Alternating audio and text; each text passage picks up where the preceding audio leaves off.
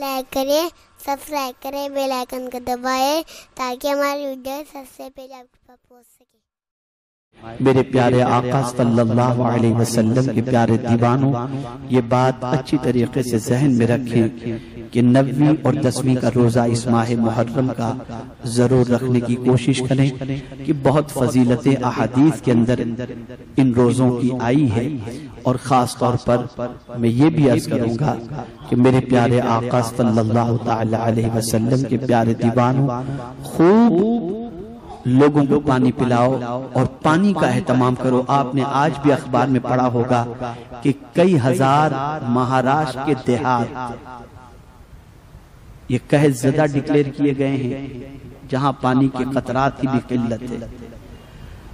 बल्कि आप महाराष्ट्र के देहातों को अपनी तरफ़ रखें, भिवंडी, गोवंडी, इन इलाकों में ही आप देख लें तो वहाँ भी पानी की काफ़ी किल्लत है। पानी का इसराफ करने से बचें। और जहाँ तक मुमकिन हो लोगों को पानी के ज़रिए फ़ायदा पहुँचाने की कोशिश करें। ये बात मैं क्यों कह रहा हूँ? हदीस की रोशनी में अर्ज़ कर रहा हूँ। आला हज़रत अजीम बरकत इमाम इश्क मोहब्बत से किसी ने सवाल पूछा कि मुहर्रम में जो सबीलें लगती हैं पानी की क्या इन सबीलों को लगाने से कोई सवाब या फ़ायदा हासिल हो सकता है? तो आला हज़रत अजीम बरकत इमाम इश्क मोहब्बत ने जवाब में लिखा अगर लगाने वाला अल्लाह की रजा के लिए लगाता है। अल्लाह को खुश करने के लिए लगाता है तो इसका फ़ायदा यह है कि आकाए करीम सल्लल्लाहु अलैहि वसल्लम की बारगाह में एक शख्स हाजिर हुआ और उसने अर्ज़ किया कि हुजूर गुनाहों में मैं डूबा हुआ हूँ। कोई नुस्खा बताएँ जिसकी वजह से अल्लाह मेरे गुनाहों को माफ़ फरमा दे। तो मेरे आका सल्लल्लाहु अलैहि वसल्लम ने फरमाया पानी पिलाओ कि पानी पिलाने से अल्लाह गुनाहों को मिटा दिया करता है। बहुत बड़ा इलाज है। इसीलिए कभी आपने सोचा हो शायद कि रोजेदार को पानी का एक घूंट पिलाने पर कितना सवाब मिलता है। बहुत सवाब है।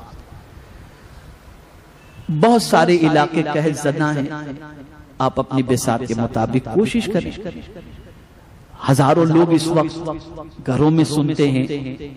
सैकड़ों लोग पूरी दुनिया में इस वक्त यहाँ का इस्तेमाल सुन भी रहे हैं। और अल्हम्दुलिल्लाह देख कई ममालिक ये हफ्तावारी जो इज्तिमा होता है कमोबेश दस बारह चौदह पंद्रह कंट्रियों के अंदर लोग बैठ करके पूरा इज्तिमा सुनते हैं। तो आप ये जहन में रखें पानी पिलाने का काम करो। बहुत सवाब है इसका बहुत सवाब और चूँकि ये कहत का मामला है और बहुत सारे इलाके कहत जदा है जहाँ लोग पानी के कतरात के लिए तरसते हैं। तो इसके ज़रिए भी आप करें। और इसराफ पानी का जो है वो करने से बचें कि शरीयत का मसला है कि वज़ू करने में भी।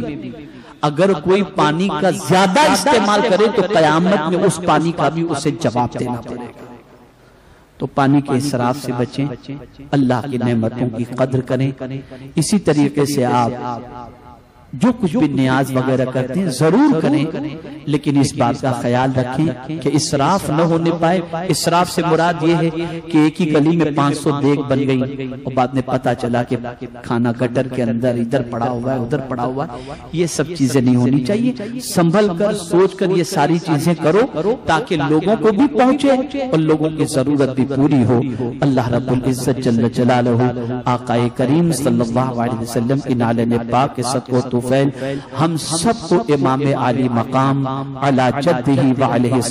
सलाम की तालीमात पर, उनकी सीरत तैयबा पर, उनके अकीदे पर, उनके अफकार नजरियात पर, उनकी इस्तकामत फितीन पर अमल करने की तोफ़ी अता फरमाए। वमा हमारे वीडियो को लाइक, शेयर ज़रूर करिए।